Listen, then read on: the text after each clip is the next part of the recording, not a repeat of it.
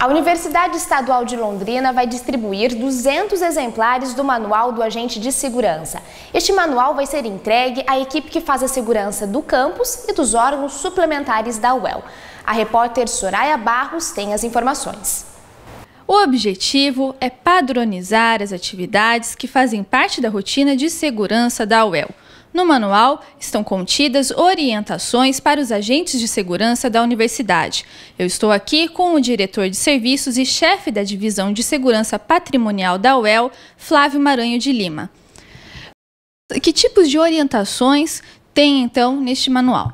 Bom, esse manual é, contém uma padronização, como você disse, né, das ações do, do, da divisão de segurança é, a fim de institucionalizar esses atos, né, para que a gente possa é, deixar isso né, para os futuros servidores, para que quem entre depois da gente consiga, é, tenha isso em mãos para seguir né, os procedimentos né, da, da divisão de segurança.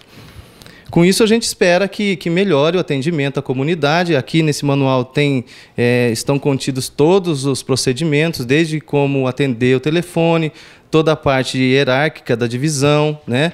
como, é, quais são as atividades do chefe, do, do supervisor.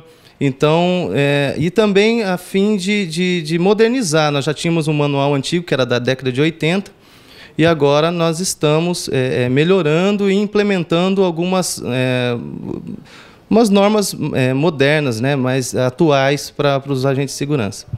E de que forma você acredita que isso vai colaborar, então, para otimizar o trabalho, ajudar, né, ter uma melhoria aí na segurança da universidade?